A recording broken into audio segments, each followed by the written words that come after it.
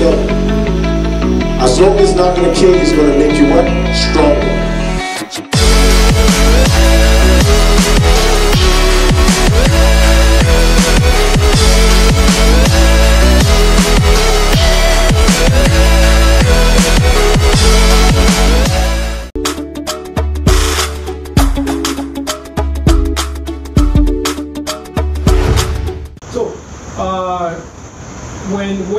Decide to start ARED? And what was the thought process? What made you fe- feel ARED was going to be a hit or something? you know? No, you never know when uh, the company's a hit. huh? Yeah. But uh, so Ared was born uh, out of a, a, I got in my life. So my business was successful. I was making money, but I was not happy. Right? I was doing something uh, purely for financial gain, for profit, for profit, and it, it was not fulfilling as a business. It got so bad that my health was getting affected because I was stressing so much. So for those who don't know, trucking is a highly stressful business. Um, you know, you have truck drivers that are carrying loads. Um, you know, some of them were, you know, you hear all kind of crazy stories on drug. I'm not going to spend time telling you the stories, but uh, maybe uh, if we have time, I'll share. But um, so I got to a crossroad in my life and asking myself, what's the meaning of life? It's not. It can't be just about money. It has to be about something else. And that's how Ared was born. So Ared was born out of a problem I was having when I was coming on vacation in Burundi of charging my phone. That was the initial idea, right? I was, I was, I had to carry my charger everywhere with me. Uh, I had to ask people at the bar and all to charge my phone. So I said it would be cool to have a kiosk where you can charge your phone and you pay a small amount uh, to an agent. And then that was the initial idea. Of course, you know, when you spend a long time outside Africa, you tend to, to, to get disconnected to the reality of town. So uh, I was very disconnected. But I found out later when I moved, but but that was the initial idea. I wanted to do something that would be impactful, that would be sustainable as a business, but impactful. Because and I love solving problems. That's really where my strength is. And I was like, unemployment is a big problem. Uh, energy at that time that was we were an energy company. It's a big problem. How can I combine the two and build a business around it? And that, that's how it started. And I remember sketching the product on a piece of paper um, on my office. I used to work from home. And um, just like that, I, I, all my businesses, I don't do research. It's bad, by the way. I don't, I don't, I don't spend time, you know, I just jump. When I have an idea, I got it. Because if you if you let your mind long enough, you'll create your own doubts. And then you, you're gonna, you know, kill your idea before you get started. So I like to get started, put myself in a situation where I have to move forward. So it took three months to, of researching if the product was already existing. I couldn't find anything like that, so I developed. And and and uh, that's how the Before journey you started. go into like the full details about more personal, but like how did you come up with the name ARED? Like what was the mindset? Because I know if you are founding a company or a business, one of the most difficult things is getting a name. And Right, it's gonna be disappointing. Yes, it's gonna be very disappointed. I wanted to combine the word Africa, renewable, energy distributor, and that's how it is. There was, there was no deep thought behind that, no research. Again, I, I'm, I'm, I'm, I'm so practical. I don't like to waste time on small stuff because that's not what's building the business. Yes, you can talk about brand and all, but business is about you know generating revenue. Yep. That's what I on. Yeah. So, uh, walk us through when you, what was it like in the first days of ARED? Like, it was just you and your idea, no employee, no one, like, just you. So, how, what was it like then? And how was it, how did you attract your first uh, employee or maybe co-founder or maybe investor or something like that? Sure. Yeah. Uh, briefly, um, eh, okay, so so uh, I, I developed a product. I hired an engineer from uh, Poland, my first engineer. Um, found him on a on a website called Elance. Uh, at that time, they changed to Upwork now. So um, and then took three years to develop the first prototype. Soon as the prototype was done, I shipped it to uh, uh, Rwanda, moved to Rwanda, bought a one-way ticket, sold everything I had, moved with my savings. Um, but mistake number one, the business plan I had designed in three months realized that was not going to work.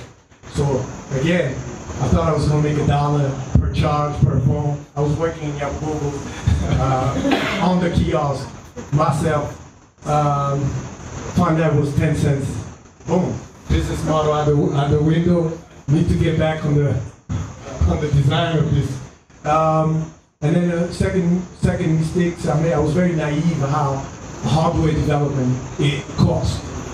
Man, it's extremely expensive. Now I know why there's not that many people in hardware. Um, I thought it was just about designing and then putting some, some stuff together. Yeah. And then you do no, no, you gotta you gotta design, you gotta test, you gotta fix whatever flaws, and it's extremely expensive. So all my saving was gone in a year and a half. Now it was time to, to reality check. But again, when, when you've been in the in the trenches, you know those at that at that time A-Red was not as difficult. So I started applying for you know competitions.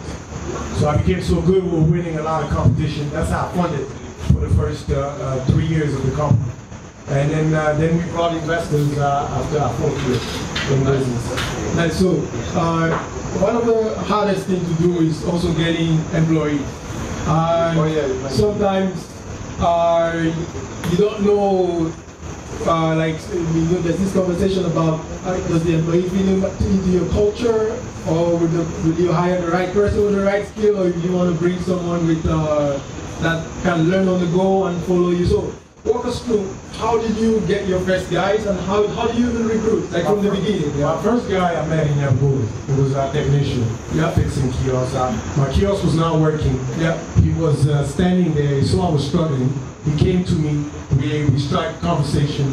He was a technician, I hired him on the spot. Um, that was the first guy. I, I don't remember all my hire, but my philosophy in hiring, this culture thing and all, I'm not, I'm not saying it's a bad or good thing, it's just, just not my cup of tea. My thing is, are, are, are we focusing on the same vision, all right? Are you a problem-solving person, all right? Uh, are you resourceful? That's the biggest problem I find for the employee. Are you resourceful? You know, because everybody, I always tell my, my guys, and they'll tell you, I didn't hire you to tell me about the problem. I can do that myself. I hire you to solve a specific problem. And if you can't solve it, then you know, that's not. And and the business meaning, entrepreneurship is about problem solving. That's all it is. Every day you're solving a problem. Whether it's making money, raising capital, uh, trying to open a, a new market, whatever the case that is, every day you solve one. And that's the problem in the mindset. And I don't want to go off board, but a lot of time we start, and I did the same mistake. When I started, it was about, I'm starting, we were, we were having this conversation. Oh, I'm going to register my business today. Um, I'm going to develop the solution in six months. Yep. Man, like December, I'm a rich man. Man.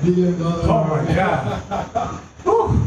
But not true. Oh man, not, no, it's not this, true. is, this is very valid because uh, that's why that's why we are doing this so that we, you can learn from people that have done it before. So it does, it's not just imagining or dreaming that you're going to be successful, but you need to put work uh, to it. So Henri, uh, what was it like when you made your your first profit, or maybe the let's say revenue? Well, not, we're not profitable yet at ARED. So hardware takes about 10 to 15 years before you become profitable. That's 10 to 15. Um, so we, we have some time to go. Yeah. And that's and how many years are you in now? Six. Okay. And that's it took four and a half years just to develop the technology, and we still not fully done. Um, uh, so, and that's 10 to 15 years in in in markets in the West and all those things. So, I, we don't even have the data for Africa. So, but I knew going in it's going to be a long term. But for for my previous business, man, my first profit was like uh, half of them. You know, it was like wow. You know, I, what I learned is uh, business, entrepreneurship is a formula. It's a formula. When you get the formula, it's about duplicating that formula for, for, for a period of time. Until that formula doesn't work, and then you find the right formula again. That's all it is. You got to tweak, pivot, change, test, blah, blah, blah. That's all you got to do, you know, until you get the right formula. And that's happened. So, like, for the benefit of those people that don't understand what area it is, Oh, yeah. can you give like uh, ex- just explain Sure. what, it, what you do and everything down there. Well, I'll talk about ARED now. Yeah. We started was ARED solar kiosk for charging. What we are now, we, we, we distribute uh, digital services and offline online connectivity solution for low income areas, semi-urban and urban areas. So our kiosk basically is a one-stop shop. You can charge your phone, you can connect Wi-Fi, you can buy digital services, and we're about to do tax collection. You can pay your taxes. So we're the first company that has built a, a one-stop shop platform for digital services and connectivity. But the question I was thinking is, why, why did you just, why did you decide that your market is going to be the rural area? And don't you see opportunity in, like, for instance, the airport have your kiosk, like, uh, this building have your kiosk or something like this? Yeah, that's a good question. So we recently pivoted to that. Okay? So before we we're focusing on the kiosk as a problem. And kiosk does not really work in urban setting. Uh, but we recently pivoted because we discovered that it's very difficult to build a sustainable model, uh, strictly depending on low income areas. So we had to pivot and look at what other areas of our technology we can use. So what we've learned is you can maximize your revenue in urban setting and and break even in, rural areas. But remember, I didn't start this business to make money. I wanted to solve a problem. If you look at rural areas in Africa, the distribution of digital services is highly fragmented. A person that buy airtime needs to go somewhere else to get government services. Needs to go somewhere else to get mobile money. So what we were trying to do is, is, is save time to people and combine all the services into one. So it's a real problem. Uh, and that's how it started, you know, and, and that's what we wanted to solve. Now we understand that ecosystem. We pretty much have it locked on the technology. Now we're trying to reach to other market to, to, to, to build a sustainable business. I'm going to ask you some questions about funding. Uh, I know uh, funding the hardware company is uh, super stressful. So why did you go the route of crowdfunding? What what did you learn from that process? No, we got equity investors. Uh, I know now you got equity investment. no, even before crowdfunding. Okay, yeah, yeah, yeah. Okay. Um, so our, our biggest shareholder is called GreenTec Capital. They were here actually a few months ago. Um, so when, when you have uh, uh, a support like this, they, they give you the idea, not not you. 'Cause that's not really. I'm not even gonna sit here and lie to you guys. I, I hate raising capital. It's, it's the worst. Uh, it's like it's like building a business, uh, pretty much. It's, that, that's how much How long, time did it, and how, long, how long did it take you to No, the crowdfunding, the crowd investing actually is it's crowd uh, investing. crowd It's investment? crowdfunding to keep money and then Yeah, you just give them this is a return. Right, it's an interest rate. Uh, it took uh, five months.